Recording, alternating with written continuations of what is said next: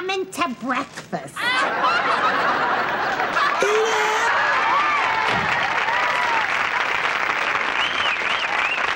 Oh, Jesus, that is that who I think it is? Oh,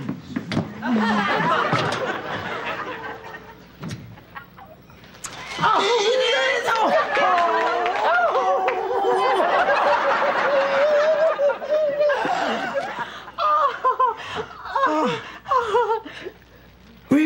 me? yeah, sure, Doris Day. No, Louise Jefferson. I know, Dad. I oh, can't even have a joke. Oh, my Oh, Louise, you look wonderful. I know. That's just what I was going to say to you. Love what you've done with your hair. Oh, I ain't done nothing with my hair. I just wash it and dry it and roll it and brush it and comb it and sometimes dye it. George says, geez, about dying hair. Makes everybody feel so old. Oh, Take your coat. Oh, Archie, look, ain't this a beautiful man? Oh, yeah, it's gorgeous there, gorgeous, Louise. Yeah. Well, it's nice to see you. Sit down, sit down. Oh, there. thank you, Archie. Yeah. Not that I want to say anything, Louise, but you know, uh, a lot of people uh, nowadays they think it's kind of un-American, you know, to walk around with a lot of dead live animals on your back. No, Archie, they grow them little minks on ranches special for coats. it, it don't make no difference whether you chase the animals around the ranch or you chase them through the streets of New York. Somebody has got to club the animal to death. oh, no, they don't do that. Well, what the hell do you think they do? One Unzip them? Come on, Louise, have a bear claw. Yeah, well, you know, speaking of animals, puts me in mind of, uh, well, your husband George, you know? I mean, geez, we ain't seen much of him lately. Well, I guess he ain't got no time to go slumming nowadays, you know, at the five cleaning establishments. Seven. Oh, whoop-de-doo, seven here. Listen, hey, I'm a businessman myself, Louise. You know, I bought Kelsey's saloon down there. But one of these days, if I get the time, I'd love to drop in on George.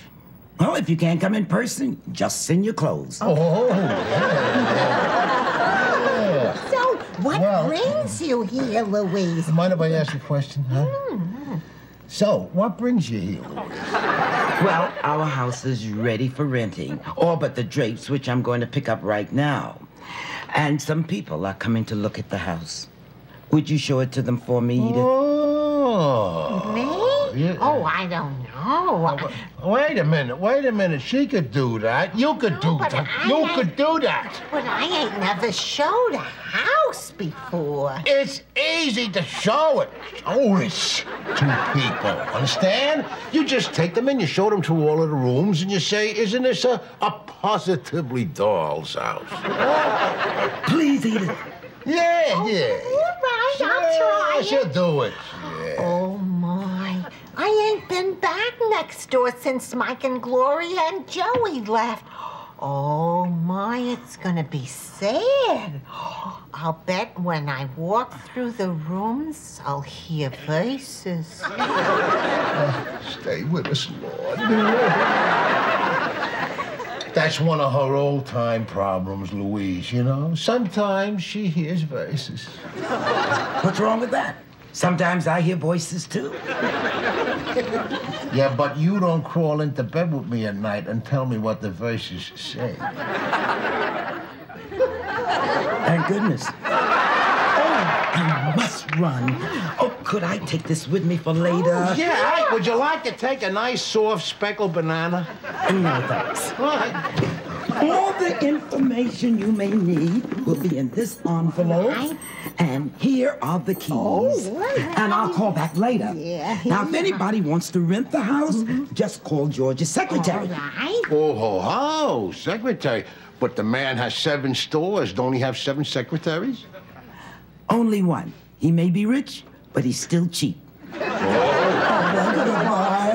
Oh, goodbye. See you